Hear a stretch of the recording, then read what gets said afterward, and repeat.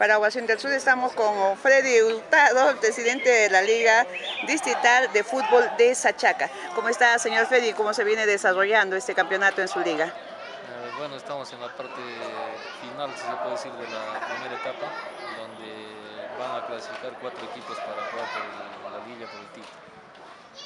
¿Y, para la baja? ¿Cómo? Eh, la baja queda como queda la, la primera rueda, la rueda general según las bases que se ha aprobado en la, reunión de delegados, eh, la liguilla y la baja no se juega,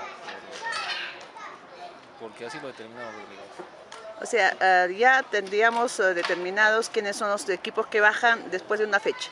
Claro. La siguiente semana ya se sabe los dos equipos. ¿Y cómo se va a jugar, digamos, la liguilla de los grandes por el título? ¿En cuántos partidos? Se juegan tres fechas de todos contra todos. Eh, el primero de la rueda general eh, va a ir con una bonificación de más uno y el resto se... ¿Cómo se ha venido desarrollando hasta el momento este campeonato?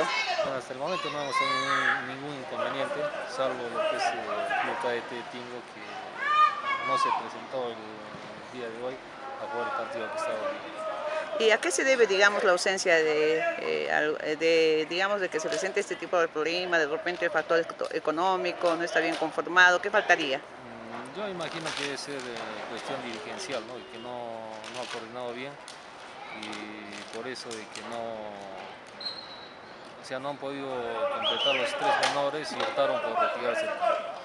O sea, todavía hasta el momento no tenemos determinado cuáles son los equipos que van a bajar de categoría. Mm, bueno, ya bajó el cadete y falta el... falta uno, el acompañante.